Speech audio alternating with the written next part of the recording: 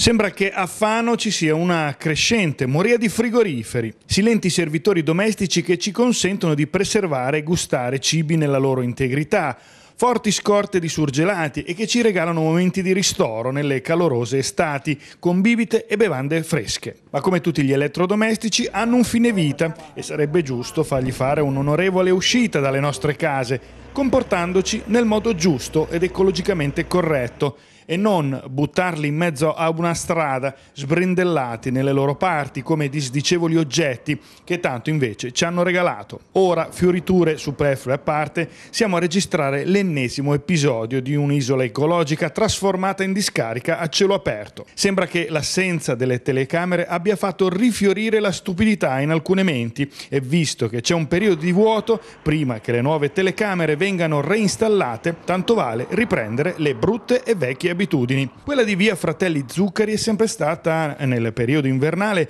una di quelle postazioni ecologiche più gettonate dagli smaltitori abusivi, forse per la desertificazione dovuta al calo delle presenze nelle abitazioni, ma che la presenza invece delle telecamere aveva fortemente arginato. Ora invece siamo punto e a capo. Oltre al povero frigorifero lasciato per strada, di cui abbiamo più volte, anche recentemente, vedi ex campo d'aviazione, denunciato la sciagurata decisione di farlo, è stato lasciato lì di tutto. Vecchi mobili, altri elettrodomestici, stendini di metallo che sembrano essere stati stritolati da un tritacarne ed altri residui casalinghi lasciati in occasionali sacchetti. Un po' un campionario completo di cosa non dovremmo lasciare a terra o vicino a un'isola ecologica che si chiama così proprio perché tale deve rimanere. Confidiamo, dovendo rinunciare al buonsenso delle persone, nella asettica ed implacabile tecnologia per non dover più documentare questo scempio.